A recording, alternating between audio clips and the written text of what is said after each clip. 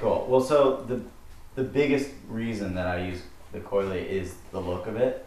Yeah, About sure, totally. else. Yeah. I mean, I remember I used to work in a music store called Music Around out in Columbus, Ohio, when I was uh, younger, and some occasionally a guitar would come in, like an old guitar, Mm. and there would still be like a coily in the case or something, and Oh, we wow. would like be vultures for these coilies. You couldn't find them, and it was like we all used to just obsess over these old photos of Hendrix and stuff, where he's got a big coily stretched, and, and sometimes it is like stretched like just straight from the guitar to the amp head, and I always thought that looked so awesome. It's like, you know, functionality or whatever, I wasn't even thinking about. It was like it just was a cool look, like it it sums up kind of part of an era or something that I really like.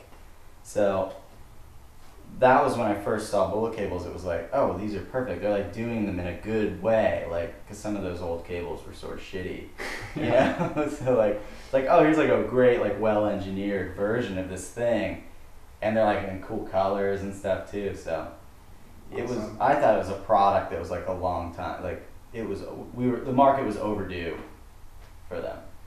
Um, but then in using it, um, I found that I really liked how I do kind of always know where it is, Sure. and it's not like this this like skinny little kind of worm on the ground that's like I'm like tying myself up in or whatever. it's this thing that's got substance and it's you know you know where it is you know so like if you need to get out of the way you can see it in your periphery and kind of kick it out of the way or you can easily manipulate where it is Sure.